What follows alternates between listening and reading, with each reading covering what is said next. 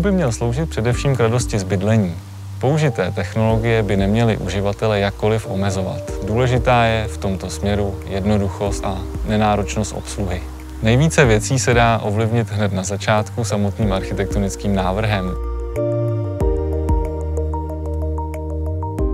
Obálka domu eh, je to, na čím se teda nesmí šetřit a ta rozhodne, jaké budu mít potřeby eh, toho domu a jak bude pohodlný. Když dokážu snížit ty potřeby na minimum, tak s nás pak dokážu zajistit eh, menším množstvím technologií, které se podílejí na ty případně té zvýšené ceně. Takže chytrý návrh způsobí, že ten dům může být třeba i levnější než takzvaně normální stavba, eh, jenom tím eh, optimálním návrhem. Vzduchotechnického systému potřebujeme zajistit především tři základní věci. Dostatečný přísun vzduchu do interiéru, nízké rychlosti proudění a nulovou hlučnost.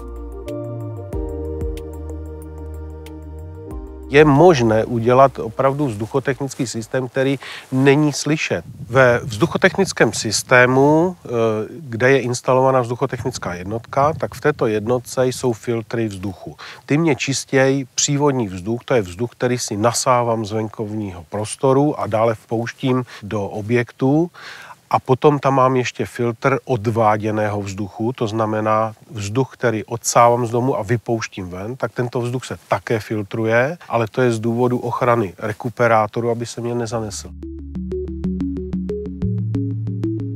co je nejdůležitější. Za prvé, udělat si co nejlépe tepelně izolační obálku objektu, to znamená co nejlépe si jej zaizolovat a vyřešit tím co nejmenší tepelné ztráty daného objektu v zimním období. Je nutné si vyřešit eh, co nejlepší ochranu proti letnímu přehřívání objektu, to znamená mít venkovní žaluzie, markízy, přesahy střech, které mě zabrání pronikání solárního záření v objektu.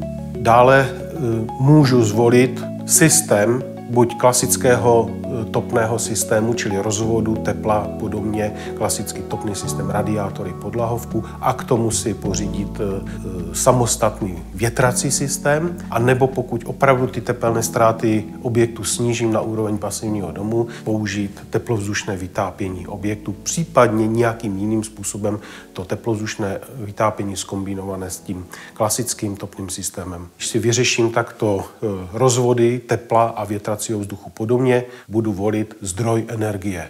Plné čerpadlo vzduch voda, fotovoltaický systém. Můžu zvolit eh, krby, krbová kamna, pokud možno vždy s teplovodním výměníkem a případně taková, která mě co nejvíce energie dají do té vody a následně do nějakého akumulačního zásobníku, protože největší spotřeba energie je na ohřev teplé užitkové vody. Takže když už si topím v krbu obýváku, tak já to teplo ani do toho obýváku tolik nepotřebuji. Pro mě důležitější ho dostat do zásobníku a následně do teplé užitkové vody.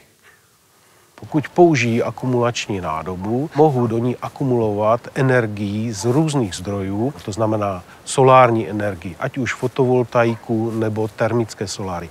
Můžu do ní akumulovat energii z krbových kamen, pokud si zatopím v objektu část energie a měl bych chtít co nejvíce, můžu dát do akumulačního zásobníku a z něho následně ohřívat i teplou užitkovou vodu. Můžu do tohoto zásobníku akumulovat energii z tepelného čerpadla, ať tepelné čerpadlo země, voda, vzduch, voda. Zdroje typu soláry, ať už termické nebo fotovoltaické, krby, krbová kamna, mě vedou k e, návrhu většího objemu zásobníků. Naproti tomu zdroje, které mohou pracovat nepřetržitě, ať jak elektrokotel, plynový kotel, tak ty vedou k menším objemům zásobníků.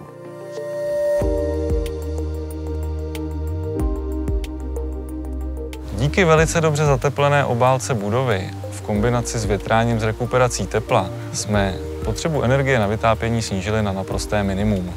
Zároveň toto malé množství energie dodáme pomocí akumulačních kamen na dřevo, tedy obnovitelným zdrojem.